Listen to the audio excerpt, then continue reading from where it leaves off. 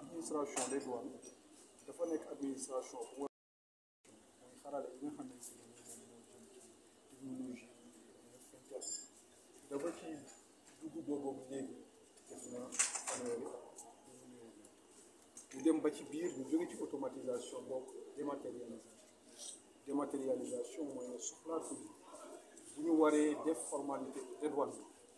ñuy jaabante di dajale ay këyit yoo xamante ni da ca nekk ci ay euh, euh, risque dafa bari mën naa nekk foo mën naa réer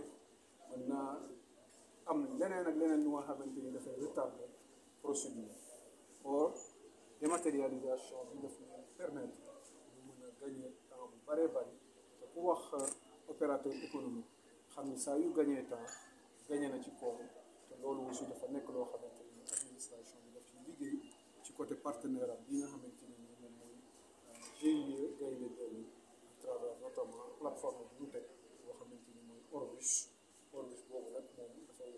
yombalal yu bëree bëri ñi nga xamante ni nii moom mooy opération économique bi seen jënd ak seen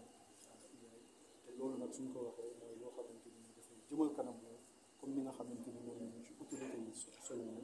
war a liggéey pour suñu développement économique et social suñu réew neeru woon ndax dafa fekk ne administration dafay am lu ñuy wax cœur de métier ci foofu lay gën a euh, def doole muy li nga xamante ni moom mooy euh, mission yi nga xamante ni moom mooy buur bi di xaar ci moom ci côté euh, fiscal bi